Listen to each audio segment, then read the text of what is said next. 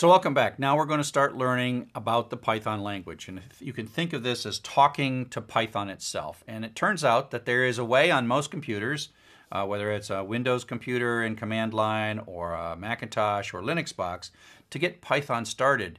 And if you just run Python, it, it will take interactively commands that you can type. And you have to type Python at this. Uh, chevron prompt is what we call it. Um, but this also sort of fits in the what next. So Python is like, okay, I'm here. I can handle any Python statement you can send me. I'm ready to do whatever it is that you want to do. I don't know what to do. I need you to tell me what to do. And so you can type a series of statements in Python. And so the first statement that you might type is an assignment statement, x equals 1. And so what is going on here? Now this, this assignment statement is something that often confuses people when they move from math to programming. An equal sign sort of has a direction to it. It's an arrow. It really is saying, Dear Python, you got a lot of memory. You got a lot of memory. Take a little tiny piece of that memory and remember it and name it X. I might use that. I'm going to use that later and stick a 1 in it. So this is sort of like stick 1 in a spare place in memory and name it X. Print X says, go take whatever that spare bit of memory was and bring it back out and tell me what I put in it.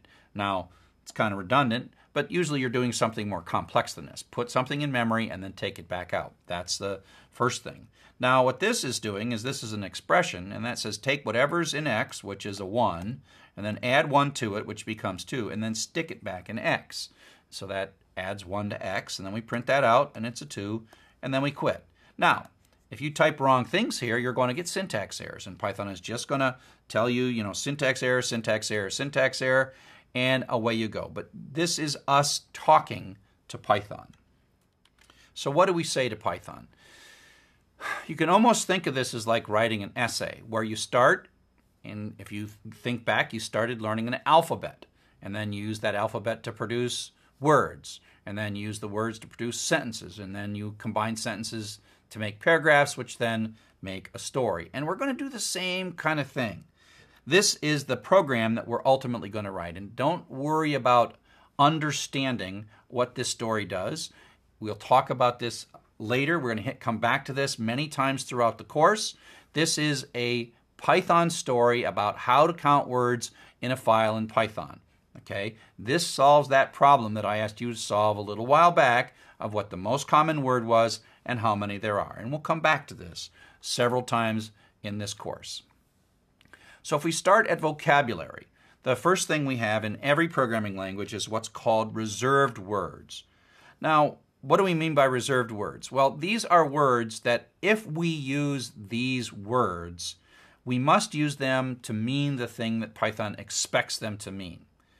Another way to put that is we can't use them elsewhere. We can't make up a variable named import. We can't make a variable named assert because if Python sees assert it means something very specific to Python. If it sees if, it means something. If it sees for or pass or while, where's while? There's while. These mean things. The best way to think about this is um, Python is kind of like a dog. And if you're talking to a dog and you say, hey, dog, do you like, uh, you know, Beethoven or Bach better? The, the dog is hearing is like, blah, blah, blah, blah, blah, blah. Doesn't care anything. And then you say, um, hey, hey there, uh, Spot. Um, what do you think of the weather today? Do, do you really like, uh, you know, sunsets or do you like rain better? And the dog is like, blah, blah, blah, blah, blah, blah. And then you say something like, um, do you think it's time to go for a walk? And the dog goes like, walk, got it. And the dog has been listening to you all along. Most of it is blah, blah, blah, blah, blah. But walk is a reserved word for a dog. Okay? Food, treat. Those are reserved words for dogs most of stuff you can say anything you want to a dog and they're very good listeners, right? But when you say a reserved word for dog and you say walk and you don't deliver, then that dog's going to bug you for a while. So you can think of that as Python. When Python sees global or from or for, it's like, whoa, that's a word that means a lot to Python. So you better use it the way Python expects you to use it. Sentences are lines. And so when we write a program, we're writing a, a, text file, and we put a line and another line and another line. Each one of these is like a separate line, and we've got to get them right. And then we construct a paragraph out of a series of lines. And so in this particular example, We have another assignment statement that's sticking the number 2 into the variable x, retrieving that 2 back in, adding 2 to it, and sticking that sum back into x. Print is a function, and there is a parameter x, and that's going to cause uh, 4 to be printed out. So we're using operators. This plus is what's called an operator. The equal sign is what's called an operator. This print is actually a function. This is a parameter being passed into the function. So there's a whole series of different kind of syntaxes that we use to produce uh, the lines that we have to produce. Now we start com combining these paragraph the lines into paragraphs and make some sense. And so that interactive Python where you're talking with that the three chevron prompt, that's fun and it's it's fun to get started and type x equals and x equals x plus one and whatever. But don't do too much. And, and I see students all the time, they try to write whole programs in that, and it gets a little frustrating because you have to type it perfectly from beginning to end. It's much more common to type something in a file. Once we get maybe beyond three lines of Python, we tend to just use a programming text editor like Atom or something, and we put them all in a file, and then we tell Python, start at the beginning of this file and then read through the file. We call this a script or a Python program. And in Python, we tend to call that file .py and some text editors like the Atom text editor, which is one of those that I recommend, when you have a file that ends in .py, it syntax highlights it and gives you colors and makes things pretty and helps you understand and sometimes even leads you towards syntax errors and mistakes that you have. And so scripts are stored sets of instruction in text files that you can then hand to Python to run them. And I have a whole bunch of videos that sort of get you to learning Python, getting in Python installed, doing something interactively, and then writing a script and then running from the script. So like I said, you can do interactive in Python or you can run a script. And a script is much more common once you, uh, after about the first 15 minutes, you pretty much do everything with a script. So what do you put in that script? Well, it's a series of steps. Now, there are a couple of basic patterns that we use, and we, we compose them. Um, the most basic pattern is what's called sequential. We do one thing, then we do the next thing, then we do the next thing. Conditional is sort of intelligent, where you're doing something and then may or may not be doing something. Do, do, do something, something, something, maybe not, maybe. And you have this if. If this is true, do this statement. If it's false, do some other statement. Those are called conditional steps. And we'll show you how in a sec how those look. And then the real power of computers come when we tell it to do something over and over and over again, a million times if necessary, and that's when we have a series of steps that need to be repeated. And then the fourth pattern is the store and retrieve pattern, which we will visit in chapter 4. So this is an example of a four-line Python program that has four basic steps. Python, as if you type this, these four lines into a file and then told Python to execute them. Python will stick 2 in the variable x, then it'll print that out. Our output will be this. It'll add 2 to it, and then print it out again, and it'll be 4. You can. This over here is called a flowchart. I don't really make you write flowcharts. In the old days, they made us write flowcharts. I'm not sure that's all that valuable. All I'm trying to show you is the sequence of things. It runs this, does something, then it moves on to the next one, does this, then it moves on to the next one, does this, then it moves on to the next one. Meaning that when you're done with a statement, where are you going to go? Well, in this case, it's the simplest of all possible things where we're just going from one thing to the next thing. Now, it gets a little more interesting when we do conditional steps. And the thing that makes conditional happen is this if, right? The if statement is a reserved word, okay? And so you'll see we it starts at the beginning, and the if has embedded in it a question that leads to a true or a false, ends in a colon, and then there's an indented block. And what happens is this is the conditional statement. Print smaller is the conditional statement, meaning that if x is less than 10 evaluates to true, then it's going to execute. Otherwise, it's going to be skipped. So it can either execute it and continue or it can skip right over it. And so it's probably easiest to show this on this diagram where you start with x equals 5, then you hit the if statement, and the if statement is asking a question.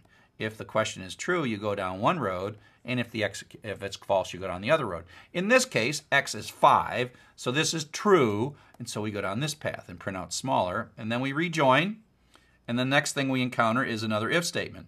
Is x greater than 20? Well, in that case, it's no, because it's not, because x is 5. So we're asking the question. We're not changing x, we're just asking a question about x.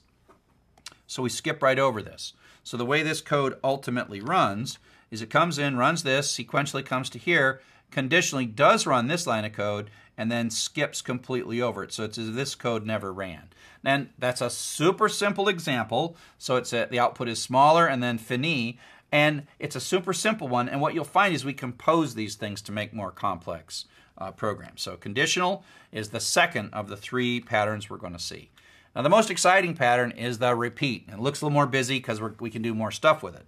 So the, the basic idea is there are a couple of different uh, looping uh, keywords, uh, reserved words, the while and the for. Um, the while loop basically says it functions kind of like an if statement in that there's a question in it. Doesn't hurt n, n doesn't get changed by this. It just looks at n and asks the question, is n greater than 0? If it is true, it runs this code. So just like an if. So up to here, it looks like an if. If n is true, n greater than 0 is true, it runs this code. Now this is a little sequential bit. When you're done with this, what do you do? Oh, we just fall on to the next one. And you'll notice that this is indented at the same level as the print statement. And that's how we have repeating or even ifs with more than one statement in it. And then when it de-indents, that's the end of the loop. And what happens is it runs this and it runs that. But then what does it do? Well, it's at the end of the loop, so it actually goes back up to the top of the loop. So it goes back up to the while statement. And we actually printed n out, which was 5, and then n became 4, and then it reevaluates this question. Is 4 greater than 0? Yes, it is. So it prints 4 out, and then it subtracts 1, it becomes 3. Now is 3 greater than 0? Yes, it is. Yes, it is. And so it goes 4, 3, 2, 1. Then it comes through and it prints 1, and then it subtracts 1 from it, so it becomes 0. Now it comes up and asks this question Is 0 greater than 0? Because n has become 0 by the successive iterations through this loop.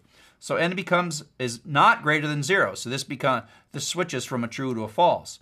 And false, it leaves, goes out and exits the loop.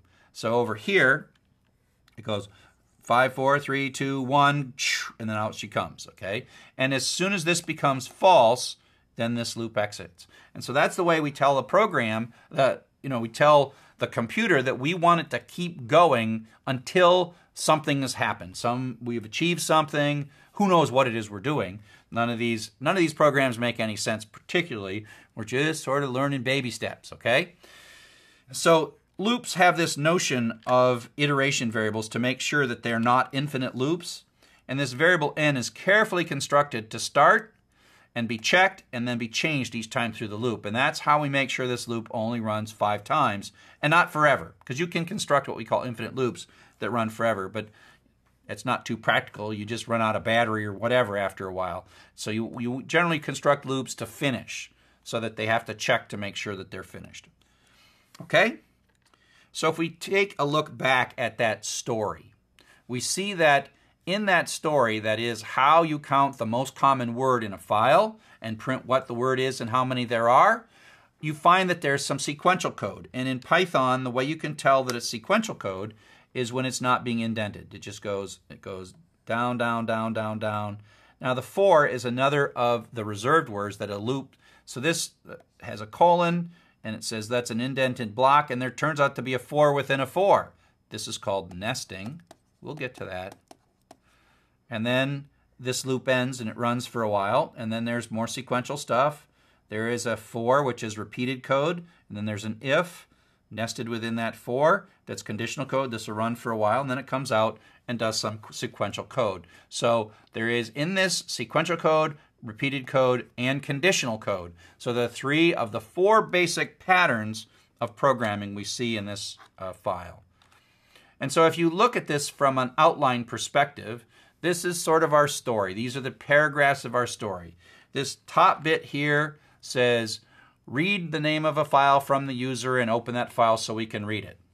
This second paragraph says, oh, as we read through the file, create a histogram that maps the number of words to the frequency of the words. And each time you see a word, update the histogram so that we have a running total of all of the words using a thing that we'll learn later, like in chapter 10 or 9, called dictionaries. And that's cool. It's cool. But don't worry about it. Don't worry about it. Don't worry about it now. So this is making a histogram. Then, once we have the histogram and we've read all the words, then we read through the histogram to find the largest. And then we print out the largest word and the largest count. And so this is a little short story with some sentences and paragraphs and alphabet and reserved words and vocabulary and all that stuff. And we're kind of learning how to do it. Don't try to get this all right now. We're going to touch on this. We got a whole chapter on variables and a whole chapter on conditional, a whole chapter on loops, right? I just am trying to give you this big picture so that when we get there, you can start putting those things together. And like I said, it's a little confusing. Generally, it really starts to clear up in chapter 6 and chapter 7. And so just understand that we learn little bits and little pieces, and then uh, it gets better toward the end. So, thanks for listening. Uh, chapter 1 was really trying to get you an overview of the kind of stuff that we're going to learn throughout the course and lay down a little bit of vocabulary so I can talk about things like microprocessors and RAM and memory and stuff like that so that you so I can communicate. Say, hey, we're going to do this thing that's going to do something with the CPU, and so that uh, so you can use that. So hope you find this value, and see you in the next chapter.